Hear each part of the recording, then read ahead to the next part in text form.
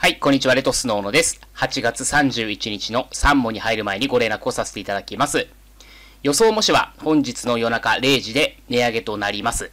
今日までは今の価格なのですが、日付が変わって明日になると値上げになってしまいますので、お早めにお申し込みください。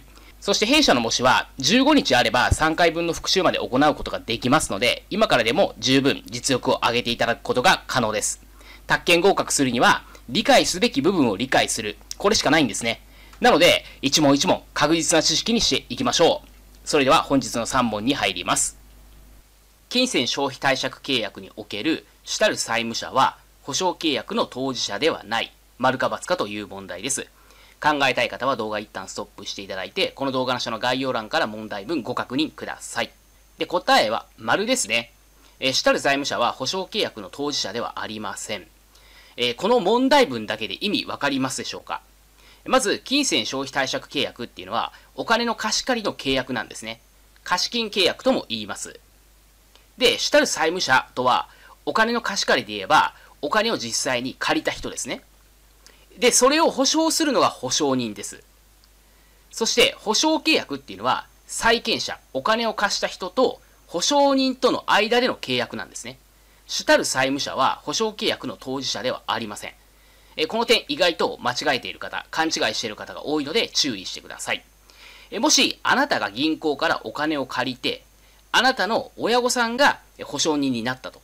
そういった場合は、親御さんと銀行が保証契約を結びます。主たる債務者であるあなたは関係ないということですね。このように具体例があると分かりやすいと思います。この問題は比較的簡単ですが、難しい問題もこのように噛み砕いて解説すれば理解できるはずです。そして個別指導ではこのようにできるだけ分かりやすく解説しております。なので、きちんと本試験で点数取れるようにしたい。そういった方は理解学習をぜひ行ってください。で、問いにですね。え宅建業者は国土交通省令に定める事項を記載した従業者名簿を最終の記載をした日から5年間保存すればよい。丸か×かという問題です。で、答えは×ですね。従業者名簿については10年間保存しなければいけません。これは最後に記載した日から10年間です。まあ、問題文では最終の記載をした日ってなってるんですけども、これはま最後に記載した日ですね。から10年間保存しなければなりません。で、え対比して覚えていただきたいのは、帳簿ですね、帳簿。帳簿については、各事業年度の末日に閉鎖し、閉鎖後5年間保存ということなんですね。で、この各事業年度、これ何かっていうと、会社っていうのは決算期っていうのがあるんですよ。例えば、3月末決算なのであれば、事業年度っていうのは4月1日から3月末まで。これを事業年度っていうんですね。なので、その末日っていうのは、3月の末です。だから3月末に1回閉めますよね。決算だから閉めるわけですよ。で、閉めた後5年間保存してくださいねっていうことですね。まあ、これ意外と知らない人いるんですよね。なので、えー、こうちょっと頭に入れておくと、この内容も理解しやすいんじゃないのかなと思います。で、帳簿について、まあ、宅建業者が自ら売り主となって新築住宅の取引をした場合っていうのは、その取引については10年間保存しなければなりません。